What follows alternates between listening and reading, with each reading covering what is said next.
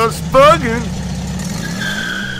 Alright guys, got the 74 Super Beetle, the yellow one, the transmission all cleaned up.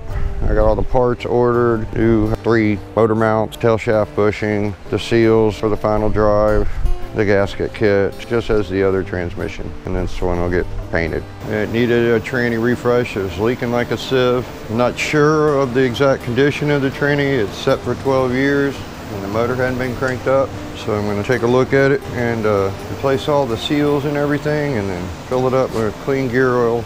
After, of course, I clean it once more and paint it. So I'm going to show a few steps of it. I've already made a video on this, but I want the customer to see that I have done these things.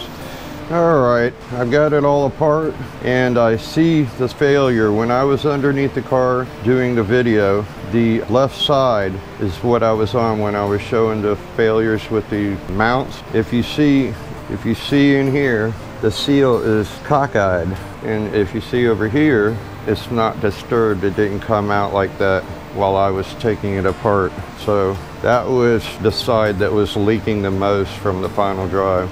So it's nice to see a failure, but of course these gaskets are been in there for a long time, or should I say seals. All right, well, that's it. Now I can replace the seals and put this bad boy back together. All right, guys, I got the seals. There they are. Got them out. Got this all cleaned up and everything. Yep, that one was cattywapped. Yeah, I don't see any bad teeth or anything on the on the gears or on the chuck, so we'll see. Looks pretty good. Clean everything up, let all dry off all my plates and install the new seals that you've got right there. And uh, then I'll close it up and the last thing I'll do is the tail shaft bushing. I'll get this first where the hockey stick is. All right, it's looking good. Uh, get it all back together, show you, and uh, clean it up one more time and paint it.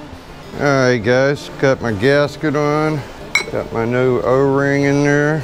That's supposed to go down right there. a rubber mallet.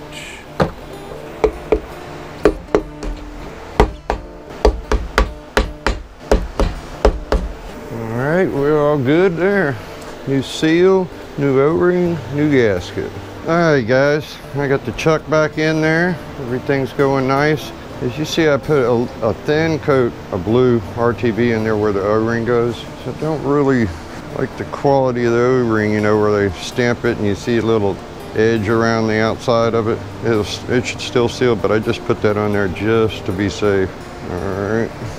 Oh, well, wait a minute. I'm gonna put a little bit of oil on that seal.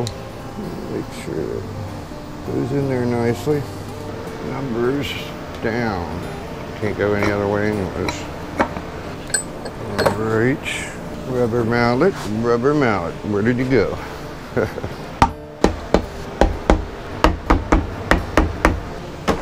all right, there we go.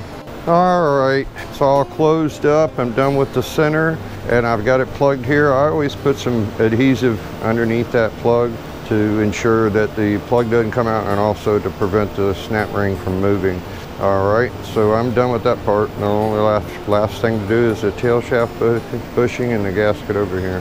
Hey guys, I'm back on the 1974 Super Beetle transmission. It came out of the yellow bug, one that was detached from the motor mounts and it actually had the wrong ones on it. It's supposed to have the ones for the 74 on it, of course. It had the little flat ones with the kind of a half moon metal bracket on it. So I'm gonna get this out with my homemade tool that worked so well last time on the 70 Beetle convertible that we had in here.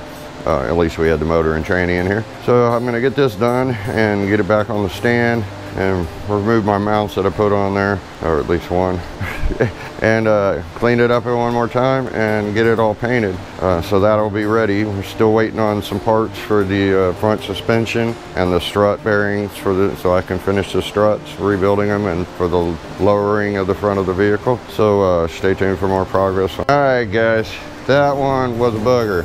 It has been in there for a long time. It is hard as hell. I mean, it's like plastic, not even rubber. So it was a booger to get out, but I did it. So now I'll put that in there and get it ready to paint. Hey guys, it's Dalton. Thanks for watching the video. I hope you guys enjoyed the video. If so, drop a like, comment, subscribe, and have a just bugging of a day.